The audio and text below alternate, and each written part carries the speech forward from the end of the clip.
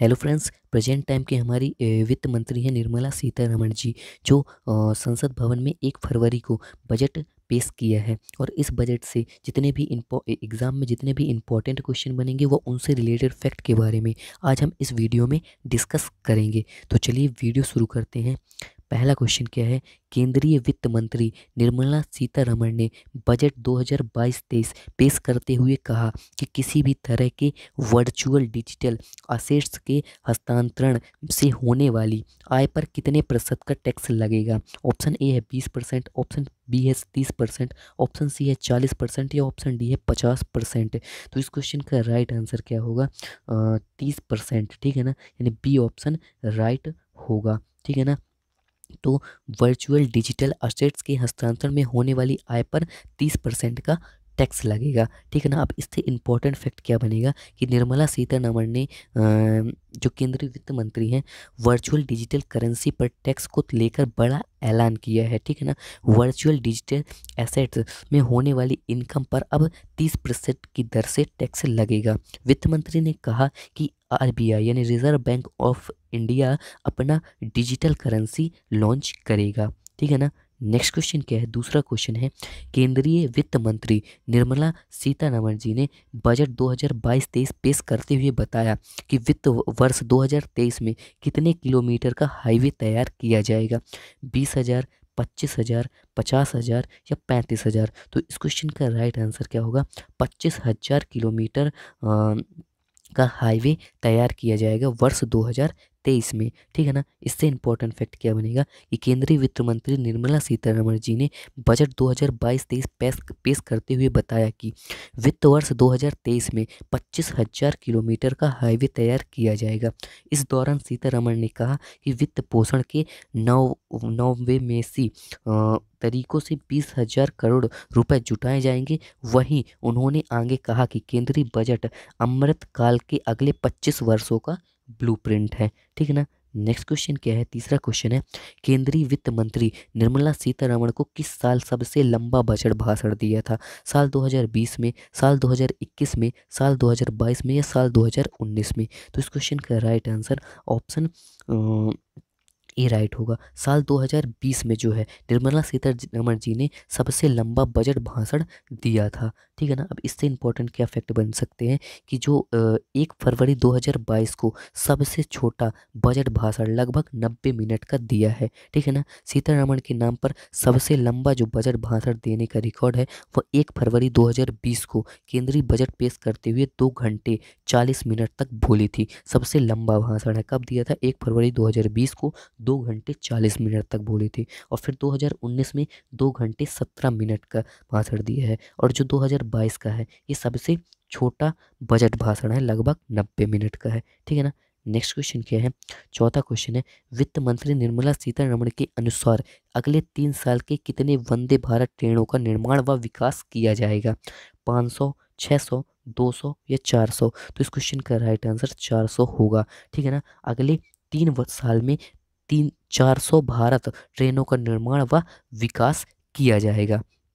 ठीक है ना? इससे इंपॉर्टेंट क्या फैक्ट बन सकेंगे कि वित्त मंत्री निर्मला सीतारमण ने लोकसभा में केंद्रीय बजट 2022 तेईस पेश करते हुए बताया कि अगले तीन साल में 400 वंदे भारत ट्रेनों का निर्माण व विकास किया जाएगा। उन्होंने कहा कि ट्रेनों को यात्रियों के लिए सफ़र के दौरान बेहतर अनुभव के अनुरूप तैयार किया जाएगा। ठीक है ना? नेक्स्ट क्वेश्चन क्या है?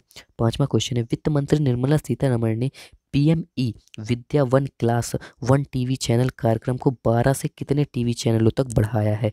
200, 250, 300 या 350 तो इस क्वेश्चन का राइट आंसर 200 होगा ए ऑप्शन राइट होगा।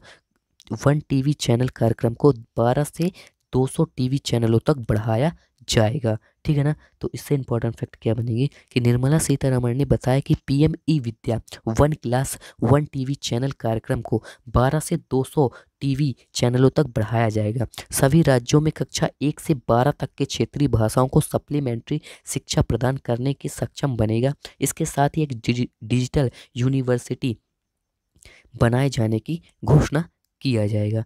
नेक्स्ट क्वेश्चन क्या है? छठवा क्वेश्चन है, वित्त मंत्री निर्मला सीतारमण के अनुसार अगले तीन वर्षों के दौरान कितने पीएम गति शक्ति कार्गो टर्मिनल विकसित किए जाएँगे?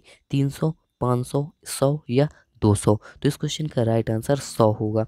यानी वित्त मंत्री निर्मला सीतारमण के अनुसार अगले तीन वर्षों के दौरान सौ पीएम गति शक्ति कार्गो टर्मिनल विकसित किए जाएँगे। ठीक है ना? इसके अलावा मेट्रो सिस्टम का निर्माण के लिए नवीन तरीकों को कार्यान्वित किया जाएगा। वित्त मंत्री ने कहा कि अर्बन ट्रांसपोर्ट को रेलवे के साथ जोड़ा जाएगा। इससे पहले पोस्टल और रेलवे का नेटवर्क बेहतर होगा। ठीक है ना? नेक्स्ट क्वेश्चन क्या है? सातवां क्वेश्चन है। वित्त मंत्री ने एक फरवरी को घोषणा की कि ग्रामीण और शहरी क्षेत्रों में कितने घरों को लाभार्थियों के रूप में पहचाना जाएगा? बीस हज़ार, तीस हज़ार, चालीस हज़ार या साठ हज़ार? तो इस क्वेश्चन का राइट आंसर ऑप्शन डी होगा। साठ हज़ार, ठीक है ना? एक फरवरी को घोषणा की और ग्रामीण और शहरी क्षेत्रों में साठ हज़ार घरों को लाभार्थियों के रूप में पहचाना जाएगा, ठीक है ना? तो पहचाना जाएगा प्रधानमंत्री आवास योजना, यानी पी एम ए वाई, प्रधानमंत्री आवास योजना भारत सरकार द्वारा गरीबी की किफ़ायती आवास प्रदान करने के उद्देश्य से शुरू की गई थी। सीतारमण ने मार्च 2023 तक आपातकालीन क्रेडिट लाइन गारंटी योजना, यानी ठीक है ना, के विस्तार की भी घोषणा की है। नेक्स्ट क्वेश्चन क्या है? आठवां क्वेश्चन है। आर्थिक सर्वेक्षण 31 जनवरी 2022 को जारी किया गया है, जिसमें इस साल की जीडीपी वृद्धि दर का अनुमान कितने परसेंट रखा है? तो 7.2 percent, nine percent nine percent या 5.2 परसेंट? तो इस क्वेश्चन का आंसर होगा 9.2 परसेंट रखा गया है, ठीक है ना? 31 जनवरी 2022 की जारी किया गया आर्थिक सर्वेक्षण, जिसमें साल की जीडीपी वृद्धि दर का अनुमान प्रतिशत रखा गया है नाइन पॉइंट टू परसेंट, ठीक है ना? रखा गया। आर्थिक समीक्षा वित्त वर्ष 2021-22 में अर्थव्यवस्था के विभिन्न क्षेत्रों की स्थिति के साथ ही वृद्धि में तेज़ी लाने के लिए किए जाने वाले सुधारों का ब्यौरा दिया गया। ठीक है ना? आर्थिक समीक्षा भारतीय अर्थव्यवस्था की स्थिति को मज़बूत बनाने के लिए आपूर्ति पक्ष के मुद्दों पर केंद्रित है। ठीक है ना? तो आशा करता हूँ कि आज की यह वीडियो आपको ज़रूर पसंद आएगी। केंद्रीय बजट से जितने भी 2022 और 23 में जो ये बजट पेश किया गया है, इससे जितने भी इंपॉर्टेंट क्वेश्चन बनेंगे, वह उनसे रिलेटेड फैक्ट के बारे में आज हम इस वीडियो में डिस्कस कर लिए हैं। और जितने भी इंपॉर्टेंट क्वेश्चन हैं, इस वीडियो में डिस्कस कर चुके हैं। अगर आपको ये वीडियो अच्छी लगी तो प्लीज़ इस वीडियो को लाइक करें व अपने उन दोस्तों को शेयर करें जो कॉम्पिटिशन एग्ज़ाम की तैयारी कर रहे हैं। उनको इस वीडियो से काफ़ी मदद मिलेगी। अगर आप इस वीडियो के PDF चाहते हैं तो हमारे टेलीग्राम ग्रुप क्रिटिकल स्टडी से इस पीडीएफ को प्राप्त कर सकते हैं। और अगर आप इस चैनल पर नए हो तो प्लीज़ इस चैनल को सब्सक्राइब कर लीजिए। ऐसे ही अमेजिंग जानकारी के लिए धन्यवाद।